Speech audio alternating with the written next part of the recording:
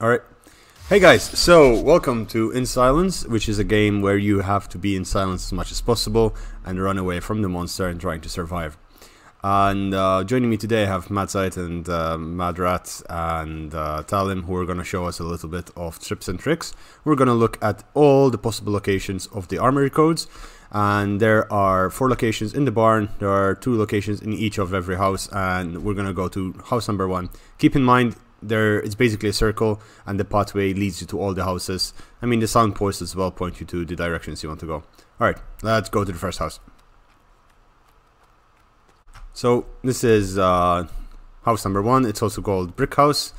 It's uh, well you know it, it, it's a house made of bricks. So the first location where you will find uh, the code is on that wall where um, you know, you shine you shine your flashlight. If the flashlight's off, you won't be able to see it. So you need to check that wall. Then you come up all the way up here and check on this wall over here. In fact, there is one over here, square six. And uh, just keep it in mind. What you can also do is just write square six, and you will be able to find it rather easily and remember what you wrote down.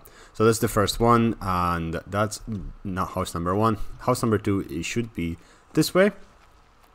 So this is house number two. As you can see, where is the signpost? Oh, yeah. Signpost over here, house number two. This is also known as basement house. It's just a simple house has a basement. Uh, first things first, there is um, over here. It's this is the first point where it spawns the code. It's not here as you can see, but uh, just give give it a check. Holy shit, you are one ugly boy. And then the second one is down here on this wall. You'll find it very easily uh, signposted there and into the next house, house number three. okay, uh, this is house number three. Uh, as you can see, it's a garage house. It has two key codes. You'll find the first one here on the banister as you enter from the doorway. Make sure to shine the light because if the light's off, you won't be able to see shit up there. And the second one is on the toilet over here. Quite easy to find and relatively easy to kind of sort out.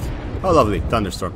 And the last place is. Wait, is wait, wait, wait, for the storm to end.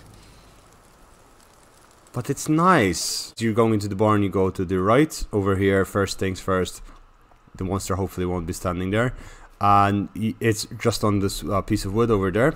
Then you go into the barn on your first left, uh, and we're lighting it up in here. It's on that wall. That's the second code spawn location.